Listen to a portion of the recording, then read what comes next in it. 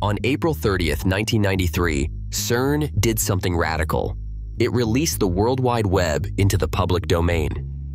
That single decision, freeing the software for servers, a basic browser, and core code libraries, let anyone with a computer build on Tim Berners-Lee's 1989 idea of documents stitched together by hyperlinks.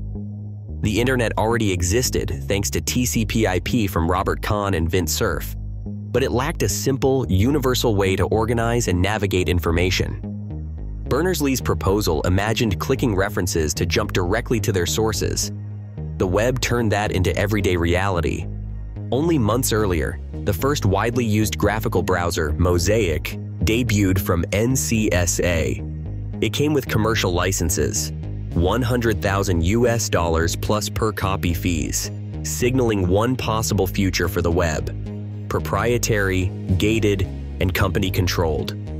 CERN chose the other path maximal dissemination through openness. The contrast between Mosaic's licensing and the web's public domain release foreshadowed a recurring tension online. Open commons versus closed platforms, user empowerment versus corporate walled gardens. By declining to claim ownership, CERN catalyzed an ecosystem where standards could spread, pages could proliferate, and creativity could compound. Berners-Lee's user-opened web may feel idealistic today, but its impact is undeniable. A global medium born not from paywalls and patents, but from a gift to everyone,